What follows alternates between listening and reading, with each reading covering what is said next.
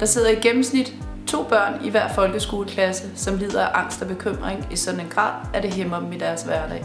Jeg hedder Mathilde, og jeg er 17 år gammel, og jeg har haft angst. Da jeg var angst, der mistede jeg rigtig, rigtig mange af mine venner. Jeg kom ikke i skole, og det var svært at komme tilbage igen efter, fordi så så de mig som endnu mere anderledes, end jeg var før. Jeg var meget, meget sikker på, at jeg var den eneste, som havde angst. Og at der ikke var nogen, der kunne sætte sig ind i det, de kunne prøve, men de ville aldrig kunne forstå det rigtigt. Angst har været tabu i rigtig mange år, og der er ikke så mange, der tør fortælle om, at de har angst. Netop fordi de ikke føler sig forstået. Derfor synes jeg, det er godt med nogle historier om, hvordan det føles at have angst, og hvordan man kan komme ud af angst.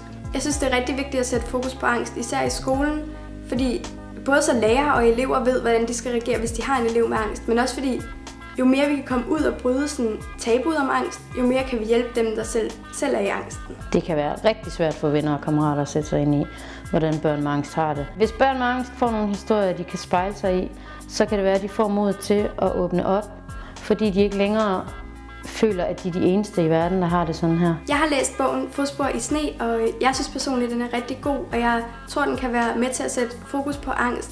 Så hvis du selv er i, angst, i angsten, så øhm, kan du læse den og finde ud af, at du er faktisk ikke den eneste, der har det sådan. Der er mange andre, der også har det sådan. Bogen kan også bruges i undervisningen, hvis øh, venner eller klassekammerater læser den, så kan de bedre sådan få en forståelse hvordan det er at leve med angst. Det kan være svært at sætte ord på det, når man selv er angst, men bogen kan derfor bidrage til, at man af andre mennesker, både venner, klassekammerater og lærere for den sags skyld, får en forståelse for, hvordan det føles at have angst.